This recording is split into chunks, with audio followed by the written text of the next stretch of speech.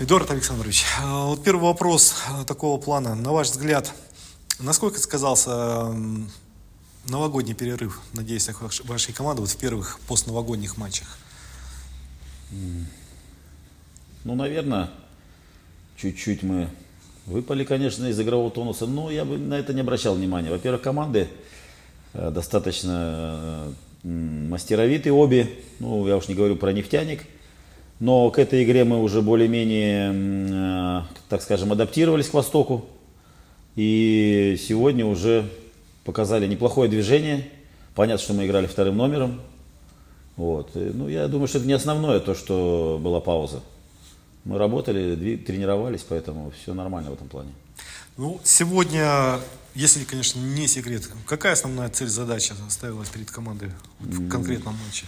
Конкретном матче, если отойти от тактики вообще, которая у нас была, как бы понятно, что мы играли по заданию, ребята, э, основные слова, что было сказано ребятам, это то, что в таких играх они делают определенный шаг, при этом, если они не побоятся, не побоятся проиграть в скоростях, не побоятся проиграть единоборство, если на каждом участке поля они это навяжут сопернику, это для них в дальнейшем прогресс и плюс, потому что мы играли действительно с очень мощной командой, да, и парни там как раз им вот этот, и, и такие матчи дают толчок. Поэтому мы постарались абстрагироваться вообще от счета, и, в принципе, ребята справились с этим. Было видно, что глаза горели, всю игру хотели ну, выходить на замену, играть, то есть никого не было так, чтобы кто-то там, ну, как говорится, выпал из обоймы. Поэтому за это им большое спасибо. Может быть, мы что-то упустили. Отсутствие Каткова и Хроменкова чем обусловлено? А, Катков приболел еще до Нового года не до конца восстановился, и учитывая все-таки, он уже зрелый игрок, да, мы не стали рисковать, потому что у нас впереди домашняя серия, соперники, так скажем, уже ближе к нашему уровню, да, и нам он там был, будет нужен. Он мог, конечно, ехать, но не до конца восстановился. А Хроменков буквально за день до отъезда, прям с вечера у него тоже поднялась температура, поэтому из-за простудных он остался дома. Надеемся, уже домашний матч тоже поправится. Ну, в этом году у вашей команды есть как кажется, реальный шанс э, зацепиться за плей-офф. Насколько реальным этот шанс рассматриваете вы?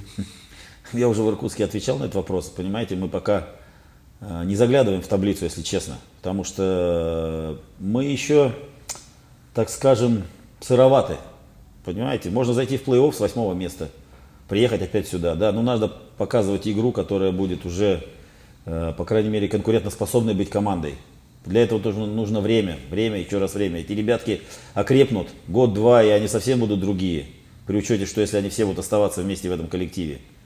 А, поэтому, как Бог даст, как говорится. Пока мы играем, не, не заглядывая в таблицу. Михаил Андреевич, ну, после э, прошлого матча голевой феерии 18-4, наверное, кое-кто из болельщиков ждал определенного продолжения в сегодняшнем матче. Счет немножко поскромнее. Как бы вы прокомментировали сегодняшнюю игру?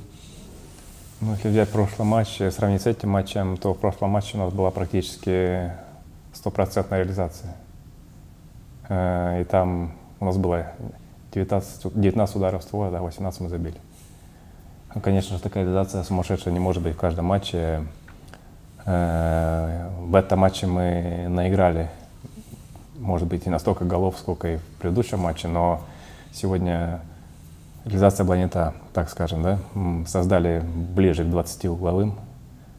Э, количество, очень много количества моментов э, хороших. Э, два пенальти. Так что в плане игры я сегодня доволен. Мы сегодня неплохую игру сыграли. Конечно, есть над чем работать и улучшать. Это мы стараемся все время делать. Сейчас у нас непростой выезд. У нас четыре матча на выезде – Э, хороший вызов для нас. Э, надо будет нам быть очень хороши, чтобы привезти очки домой. Э, выезд длится почти три недели. Но мы к нему готовы.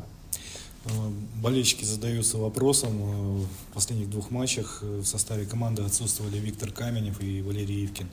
Чем вызван, вызвано это отсутствие? Если взять Каменева, да, есть момент у него со здоровьем, э, который ему не позволяют э, получать спортивные нагрузки. И здоровье, конечно, всегда выходит на первый, на первый план. Это самое главное, потому что без здоровья ты ничего не сможешь делать. И по тому прогнозу, который у меня есть, э, Витя в этом сезоне больше не сможет принять участие. К сожалению. Но я уверен, что он вернется и снова будет играть в хоккей. А по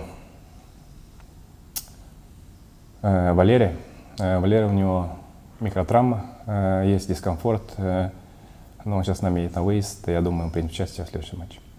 В контексте того, что вы сказали относительно Каменева, как вам игра Льва Шишкина? Ну, Льва я уже комментировал э, э, на другой пресс-конференции, да. Я полностью спокоен, когда он в воротах, и он показывает стабильную игру. Да, у него не столько много опыта, э, как у Вити, если сравнить и, и того, и другого вратаря, Но, как бывает с каждой ситуацией, когда происходит моменты, да, э, где-то дверь открывается, и у него сейчас э, отличная возможность проявить себя, и я уверен, что он это сделает. Ну вот опять же в связи с этим э, болельщики задают вопрос, э, почему в предыдущем матче с Волгой, может быть даже сегодняшнем матче со стартом э, не, не было предоставлено возможности себя показать хотя бы немножко еще более молодому Матвею Сокольникову. Ну тут все очень просто, потому что сейчас Лев у нас как первый вратарь, если так. И, конечно, ему надо игровое время, игровая практика, и каждая минута, которую он играет, э, это его делает только лучше, и он получает с каждой минутой больше опыта.